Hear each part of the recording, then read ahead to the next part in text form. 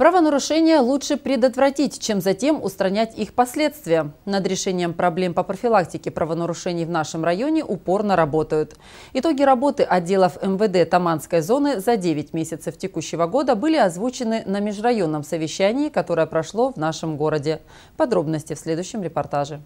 На совещание по вопросу о результатах деятельности администрации муниципальных образований и органов внутренних дел Таманской зоны в сфере профилактики правонарушений по итогам 9 месяцев 2019 года приехали заместители глав администрации, начальники отделов по организации деятельности участковых уполномоченных полиции семи районов – Заместитель начальника управления региональной безопасности администрации Краснодарского края Александр Усманов, основываясь на реальных фактах и цифрах, проанализировал профилактическую работу в районах, представители которых собрались в зале Славянской администрации. Он прямо указывал на имеющиеся недостатки с тем, чтобы были приняты меры по их устранению.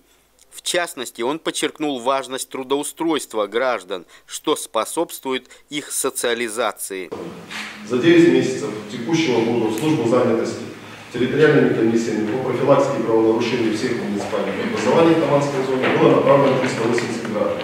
Из них только 93 человека трудоустроены, и всего лишь 24%. Прекрасно знаете, да, что это одна из основных проблем наших. Из доклада заместителя главы Славянского района по вопросам казачества Александра Заволоки собравшиеся узнали о том, что сделано в плане профилактики правонарушений с января по конец сентября. 456 граждан были приглашены на заседание территориальных координационных комиссий с тем, чтобы предостеречь их от противоправного поведения. В районе есть 15 народных дружин, где задействовано 116 человек профилактике надо уделять больше внимания. В этом направлении будем стараться э, работать немножко получше.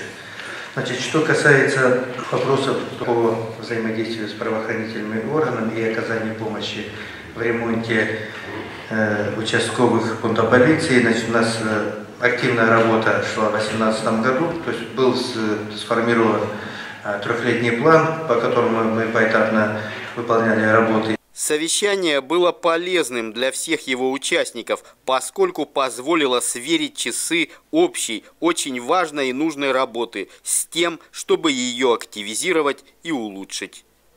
Андрей Вишневский, Георгий Калинин, программа «События».